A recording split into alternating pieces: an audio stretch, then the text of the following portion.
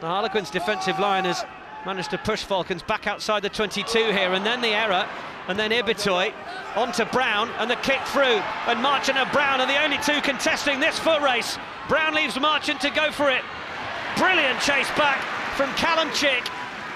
Brown again. Quins still have it. Ibitoye off Smith. Sells the dummy, looks to go through the hole around Cooper, and he'll get Harlequin's third try.